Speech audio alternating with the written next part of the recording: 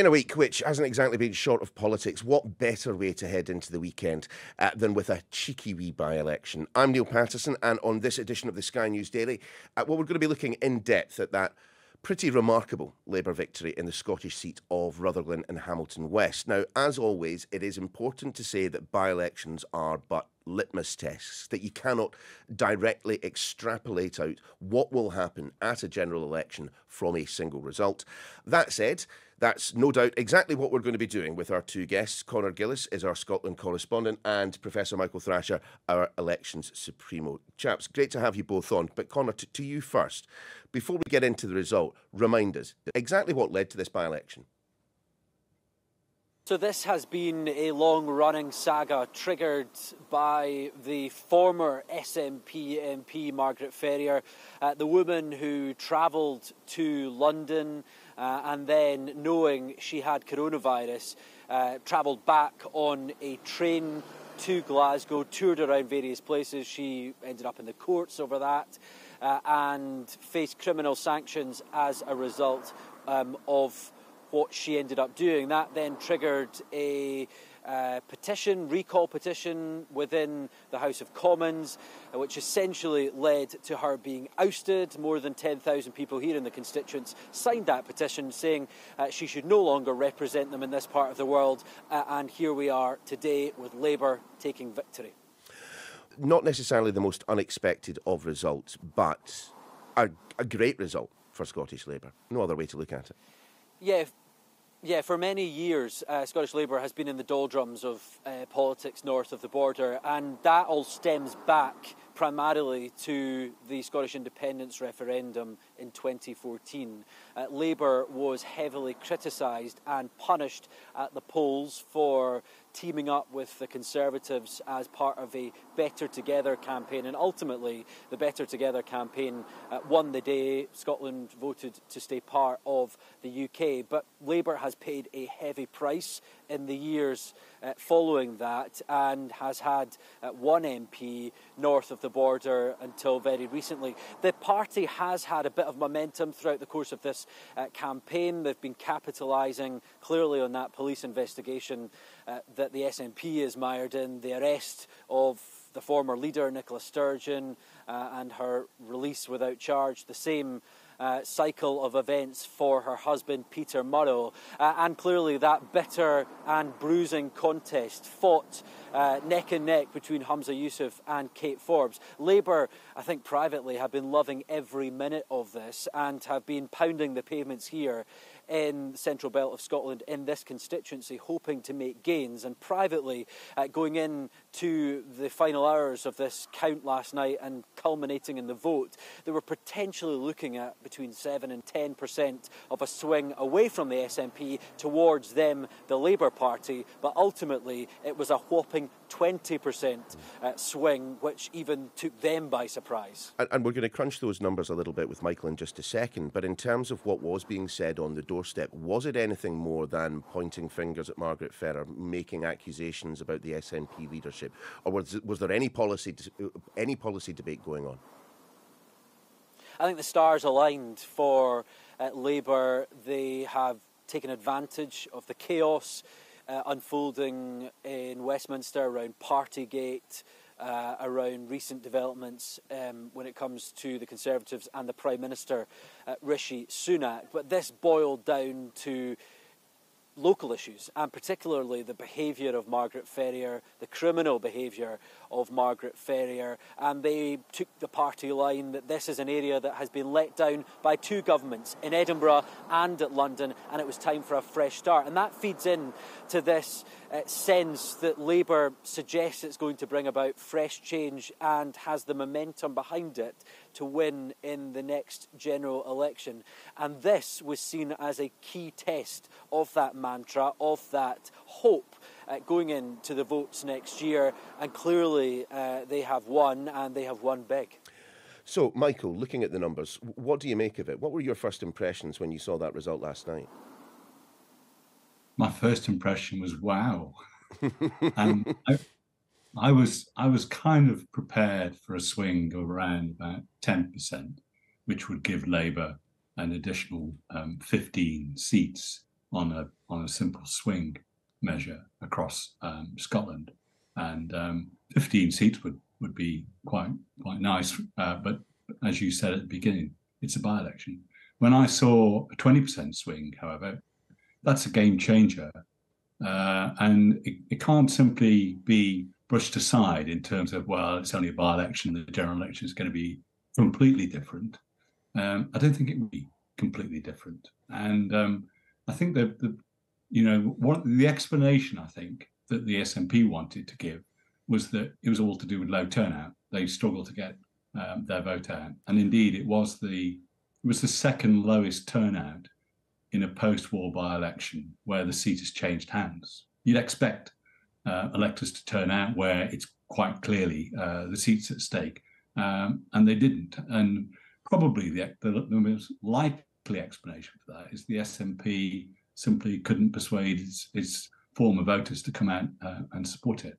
But I think what Labour also did, and, uh, and was surprising, is how effectively they squeezed both uh, the Conservative vote, and remember the Conservatives lost their their deposit in, in this by-election, and also uh, the Liberal Democrat vote to a lesser extent. And um, that suggests to me um, a real problem for the SNP that if if Conservative, Liberal Democrat, and Labour voters uh, do really want to uh, reduce the stranglehold that the SNP has, uh, both in terms of the Westminster representation that they have, and also the grip on Holyrood, then the way forward for them might well be to look at the strategic situation in uh, the parliamentary constituency and then vote accordingly. But so, a most interesting result yeah, but given the fact, Michael, that this seat has flip flopped, you know, every election that I can remember in the past few years,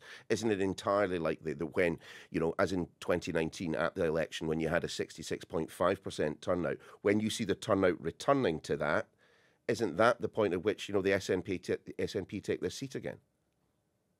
Well, there's always that uh, issue, isn't there, about, you know, the, the, the by election turnouts generally are, are lower than uh, they are at the at the um, at, at the general election. So we expect uh, that line in turnout. It's the size of the drop in turnout. Uh, it's virtually halved um, compared with the uh, last general election. And we, we need to sort of seek the explanation for that. And, and my again, I have no evidence because it's a secret ballot. Mm-hmm. I didn't I didn't stop people as they came out of the polling station and ask them how they voted last time, how they voted this time, and so on. So it's speculation on my part, but it does suggest to me that um, the SNP has struggled to, to, get out the vote. And uh, again, uh, but almost certainly, I, I, suspect that there was quite a number of um, um, SNP former voters that switched to Labour at this by-election, and that that is is significant for Labour because it it needs Scottish representation so uh, if it's to stand any chance, in my opinion, of doing well at the next general election. Uh, Connor, what, what have we been hearing from the, the, the leaders of, you know, obviously, not just Scottish Labour, but presumably also from the SNP?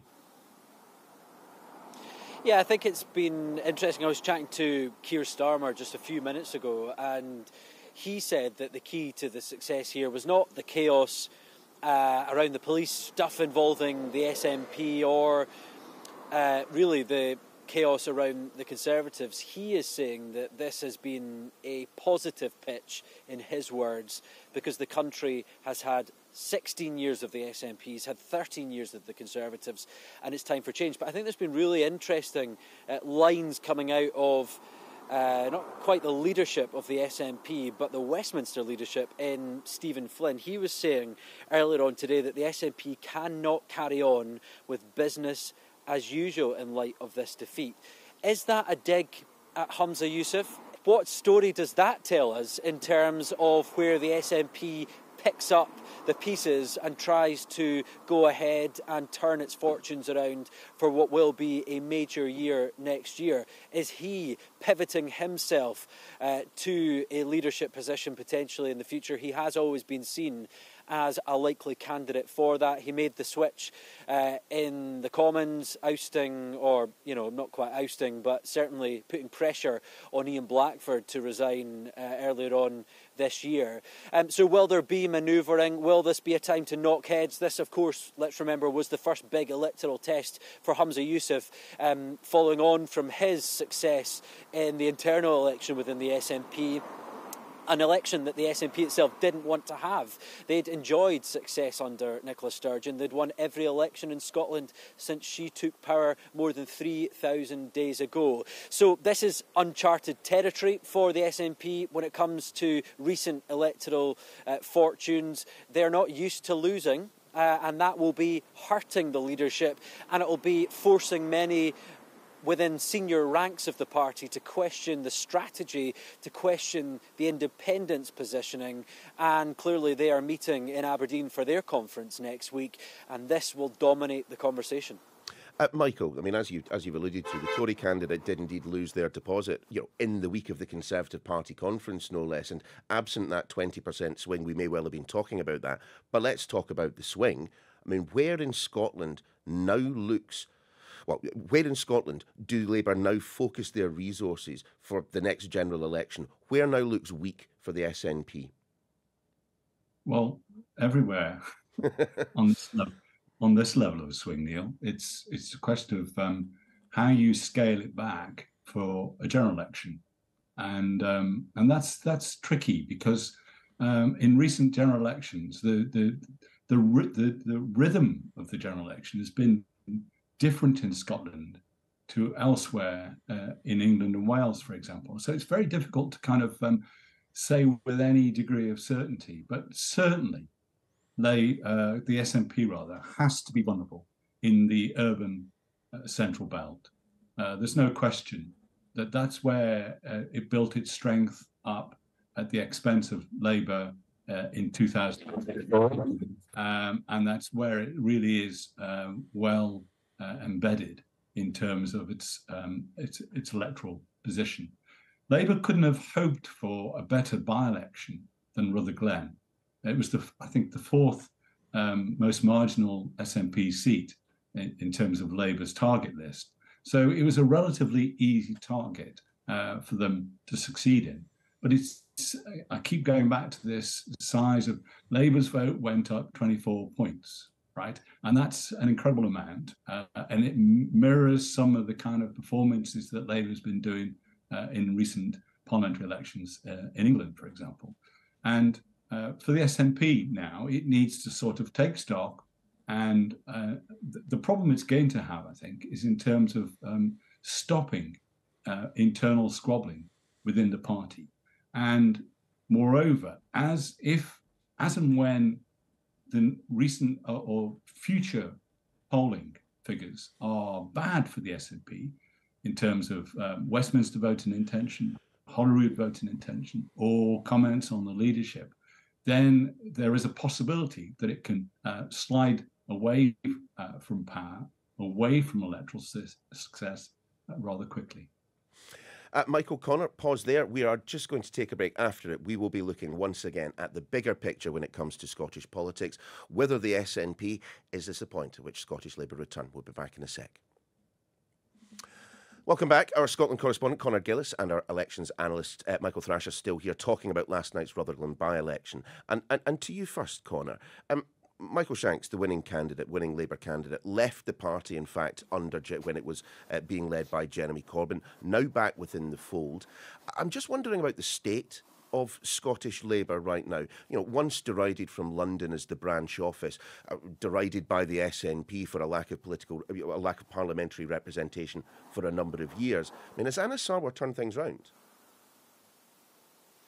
I think there is the beginning of change uh, and a change in fortunes uh, for Labour, who've been humiliated at the ballot box at every contest going in the last couple of years. And at that rally uh, I was at just a few minutes ago, there was a real sense of energy and something that we haven't witnessed from the Labour Party north of the border for so long, that is the scene that we would have been witnessing at an SNP contest. It's really interesting, actually. I'm just um, seeing a message here from a colleague who works for the Times newspaper, uh, and Kieran Andrews is suggesting that the first sign of pressure on Humza Yousaf uh, Uh, is mounting. A senior source telling him within the SNP, if Humza stays as leader, then we, we face annihilation in 2026, which is the next Scottish Parliament elections, and that is the laser focus. How do the SNP continue with the success that they have enjoyed in the Scottish Parliament elections,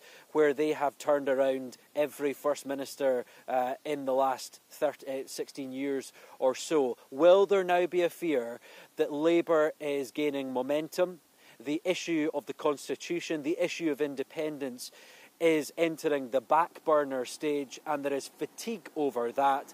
And could Labour switch that once and for all with Anas Sarwar, suggesting, as he has done for quite some time, that he could be Scotland's next First Minister? Well, that will focus minds, and this result in this by election will do just that. That will be the catalyst for having a root and branch look at everything the SNP is doing and trying to achieve at the moment. I mean, Michael, what is your best guess as to what is going on with what, you know, some of those who voted yesterday for the Labour candidate clearly would have been yes voters. Why are they perhaps turning to Labour, do you think? I mean, there is obviously the cost of living crisis ongoing. There are issues with public services in Scotland. There's, there's fatigue. There is fatigue with a government that has been in place for so long and, and hasn't delivered on the constitutional on the constitutional settlement. I mean, so why are these these yes voters prioritising a vote in this direction rather than one for you know independence? This is a fascinating um, aspect, I think, of recent Scottish polling. That um, you know the, the the figures that relate to the desire for independence and another referendum are more or less um, stable. Uh, and yet, at the same time, support for the SNP has been in decline. And we've certainly seen in the case of uh, the Rutherglen by election, electoral, real electoral sort uh, is, is in decline. So that's a curiosity. And it's as though voters have kind of uh, perhaps making a judgment that although they're in favour of independence, it's unlikely in the near future that there will be a, a second referendum. And therefore, they might well be turning to uh, a rather more uh, forensic examination, first of all, of the SNP performance in power at Holyrood, and secondly, taking a wider perspective about um, what are the prospects for the next general election um, if if if it becomes a choice about a Conservative or Labour government most of these uh, voters will definitely opt for uh, a Labour government, in, given that choice, and therefore they might start to think, and given uh, that people like me will tell them how important it is for Labour to win Indeed. Scotland, they might they might start thinking, well, okay, um, eh, maybe we, we can um, at this next general election, maybe we can think again about backing Labour because it looks as though they might be the largest party, maybe uh, an overall majority, and therefore it's as well that we align ourselves with the, the, the way in which the, the wind blows in terms of the uh, uh, UK government, and so that's a that's a critical position uh, for Labour. Uh, Connor, you, I mean, you mentioned just before we took the break, you know, you mentioned the dissent that we are seeing, you know, from amongst others, you know, the SNP's leader in Westminster. Have you ever known the SNP in the past few years to have this level of public dissent. And as Michael's been saying, there, there is a route, there is a roadmap for Labour to get a majority at the next general election. And frankly, if the SNP are fighting amongst themselves, it makes it an awful lot easier. I think um, one of the biggest uh, focus points to just put this all in perspective. This was supposed to be the month. In a couple of weeks' time, that this time last year, Nicola Sturgeon, the then First Minister, was suggesting that in October 2023, Scotland would be going back to the polls in a second Scottish independence referendum. Now, that was a year ago. Look at where we are now. The SNP have tanked in the polls. They've tanked in this uh, by election. Uh, they have had a change of leadership that has caused chaos at the top of the party. There is an argument internally and within senior ranks of the party around the strategy on that independence referendum. Some are saying it shouldn't happen for a great many years, and the party should focus on their domestic record here in Scotland. So, you know, from going from, well, there's going to be a referendum in October 2023 this month, this time last year saying that, to the chaos that the party is seeing now and the electoral defeat, the massive electoral defeat of more than a 20% swing, that says it all about where the SNP is at the moment. They're still the largest party, yes, of course, because there hasn't been a Scottish election here. But the way that the figures are pointing, the projections that Michael has been talking about, Labour with more than 40 seats once again north of the border is, as Michael said, a game changer.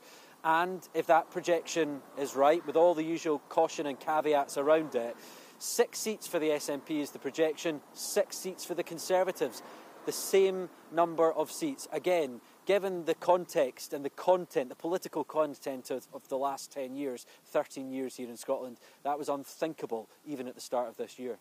Scottish politics, it's never boring, is it? Uh, Professor Michael Thrasher, Connor Gillies, good to see you both. And that is your lot for this edition of the Sky News Daily.